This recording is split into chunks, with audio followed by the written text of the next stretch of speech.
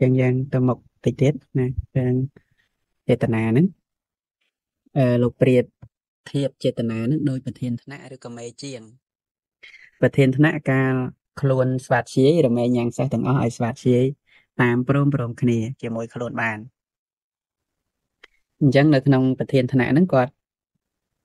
គាត់មានសិទ្ធិនៅក្នុងថ្នាក់ហ្នឹងហ្នឹងហើយអញ្ចឹងដូចជាការញ៉ាំងសម្បយុទ្ធធម៌ទាំងអស់ហ្នឹងឲ្យ នៅក្នុងអំណាចរបស់ខ្លួនហ្នឹងហើយ ថ្នាក់យើងហ្នឹងអត់តមានប្រធានថ្នាក់ទេអញ្ចឹងលោកលើកពីប្រធានថ្នាក់ហ្នឹងគឺអាចធ្វើឲ្យញ៉ាំងថ្នាក់ទាំងពួងហ្នឹងឲ្យស្វាតជេធរហ្នឹងហើយដឹកនាំសូត្រធរអីចឹងទៅតាមដានវត្តមានសិស្សអីចឹងទៅឬក៏នាំគ្នាសូត្រក៏សូត្រតាមប្រធានថ្នាក់ទៅអញ្ចឹងប្រធានថ្នាក់ហ្នឹងគាត់មានសិទ្ធគាត់មានអំណាចហ្នឹងធ្វើឲ្យអ្នកផ្សេងផ្សេងទៀតស្វាតជាជាមួយនឹងខ្លួនព្រមព្រមគ្នាព្រោះបានបដិសិទ្ធពីគ្រូយ៉ាងណាមិញ កូនសិស្សទាំងអស់នៅក្នុងថ្នាក់ដូចជាចេតសិកដតីដែលកើតជាមួយខ្លួនអញ្ចឹងហ្នឹងហើយមានភាសាមានវេទនាមានសញ្ញា មានជីវិតិនត្រីមនសិកាឬក៏វេទកវិចារៈអីអត់មានអំណាចដោយប្រធានថ្នាក់គឺចេតនានេះអញ្ចឹងជាធំជាងគេនឹងជាធំក្នុងការរៀបចំគេឲ្យគេនឹងតាមអំណាចខ្លួនអញ្ចឹងមានន័យថាចេតនាហ្នឹងគឺជាគ្រឿងតាក់តែងកម្ម ចិត្តសក្តិតីហ្នឹងដូចជាសទ្ធាសតិហេរិអតបៈរហូតដើម្បីបញ្ញាហ្នឹងក៏មិនឈ្មោះថាជា ជាប្រធាន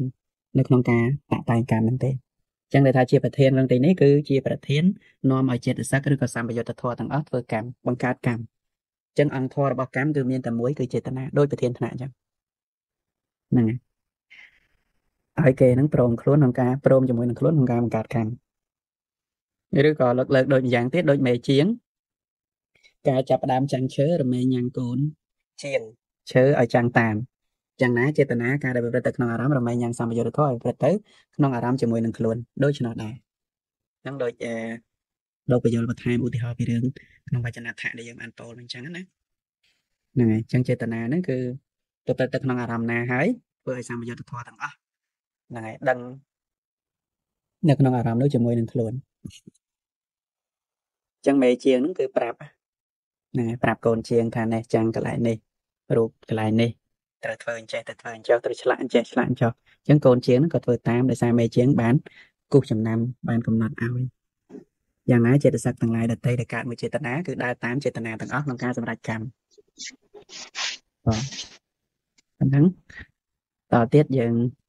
ចូលផលកម្មបន្ថែមទៀតដែលព្រះអង្គទ្រង់ត្រាស់សម្ដែងពីផលកម្មដែលទេវតាទម្លាក់ដុំថ្មហ្នឹង ក៏ជារឿងកម្មដែរ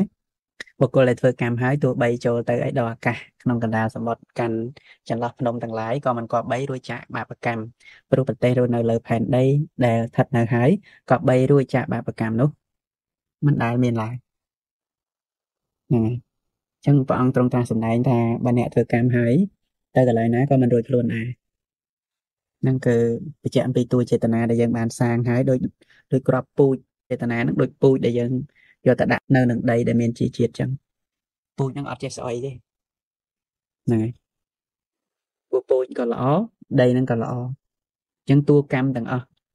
ដែលយើងបានធ្វើហ្នឹងគឺអត់រួចខ្លួនទេណាគ្រប់កម្មទាំងអស់តិចតួចក្តីជាកដត្តាកម្មក្តីជាគរុកម្មក្តីជាអចិនកម្មក្តីជាអាសនកម្មក្តីទាំងអស់ហ្នឹង តិចតួចបណ្ណាក៏ដោយជីវ័នចិត្តដែលកើតហើយជាអកុសលក្តីជាកុសលក្តីហ្នឹងហើយគឺអត់រួចហ្នឹងហើយហើយព្រះអង្គប្រើពាក្យថានៅលើផែនដីនេះយើងខ្ញុំយល់ថាចុះអ្នកនៅក្រោមដីព្រះអង្គសម្ដែងនេះគឺពាក់ព័ន្ធនៅលើក្នុងផែនដីហ្នឹងក្នុងន័យសម្ដែងធម៌ប្រពយករឿងទេវតាទៅណាចឹងទេវតាក៏នៅលើផែនដីចុះនរកអីជាដើមខ្លះទៅនៅក្រោមដីអីហ្នឹងមិនថា ពាក់ព័ន្ធនៅក្នុងโลกនេះបើនិយាយស្រួលស្រាប់ទៅតែក្នុងโลกនេះណាដោយសារសាច់រឿងហ្នឹងព្រះអង្គប្រពទៅលើមនុស្សលោកទាំងអស់ព្រះអង្គចង់សម្ដែងពីពិភពលោកទាំងមូលនេះព្រោះនៅលើផែនដីនេះហ្នឹងហើយអ្នកដែលស្ថិតនៅហើយរួចចាកពីបាបកម្មហ្នឹងព្រះអង្គថាអត់មានសំបីតែព្រះសម្មាសម្ពុទ្ធក៏ព្រះអង្គត្រូវទទួលកម្មនឹងដែរហ្នឹងហើយអញ្ចឹងដែល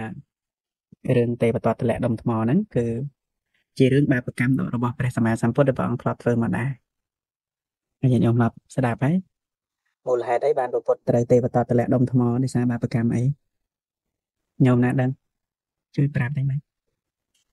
កណាលោកចាស់គ្រូកណាសន្និបាការទៀតតាមកណាធ្លាប់ស្ដាប់មកគឺបាបកម្មដែលព្រះអង្គធ្លាប់សម្រាប់បងប្អូនទៀតតែព្រះអង្គជាព្រះជាតែមិនដឹងថាការចាំនឹងត្រឹមត្រូវឬអត់ទេគេ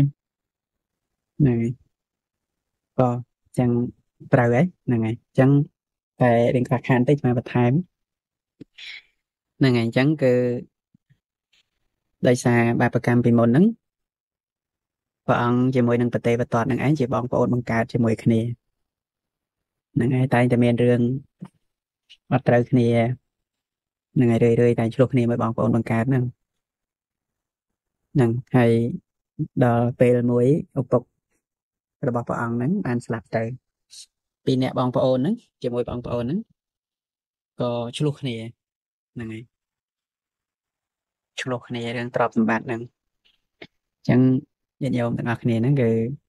គិតគូរឲ្យទៅមុនស្លាប់ចែកទ្រព្យចែកអីកូនហើយឲ្យស្លាប់ទៅ កូនឆ្លោះគ្នាចែកគ្នាមិនត្រូវហ្នឹងហើយចឹងពពោធិសត្វដែលតែឆ្លោះគ្នាហើយពពោធិសត្វប្អូនទេប្អូនត្រូវជាប្អូនប្រទេសបតតទេប៉ុន្តែពពោធិសត្វកម្លាំងបនរបស់លោកលោកមានកម្លាំងខ្លាំង ខ្លាំងនៅខ្លាំងវ័យគ្នាបងមានឈ្នះប្អូនណាប្រទេសបតតមានឈ្នះព្រះព្រំពោធិសត្វណាព្រះព្រំពោធិសត្វខឹងហ្នឹងហើយវ័យហើយក៏សង្កត់បងប្រុសពីលើហើយកម្លាំងរបស់ខ្លួន ហើយទៅទាញដុំថ្មហ្នឹងយកមកសង្កត់ទៅលើបងប្រុសហ្នឹងឲ្យរើរួចទៀតយកដុំថ្មធំមកខ្លួនឯងវាយសង្កត់ហើយទៅយកដុំថ្មមកឲ្យគ្នារើរួចទៀតហ្នឹងហើយអត់មានសម្លាប់ទេ កន្លែងហ្នឹងអត់បញ្ជាក់ថាស្លាប់ឬមិនស្លាប់ទេគាត់យកដុំថ្មមកសង្កត់ហ្នឹងឯងហ្នឹងក៏ព្រះអង្គបាបកម្មហ្នឹងក៏ធ្លាក់ទៅក្នុងនរកដែរហ្នឹងហើយដល់បាបកម្មហ្នឹងចុងក្រោយក៏ត្រូវប្រទេសបតតនឹងជាយានទម្លាក់ដុំថ្មដែលប្រទេសបតតនឹងចុងជាតិចុងក្រោយហ្នឹងប្រទេសបតតក៏មកជាសាច់ញាតិព្រះអង្គដែរណាដែល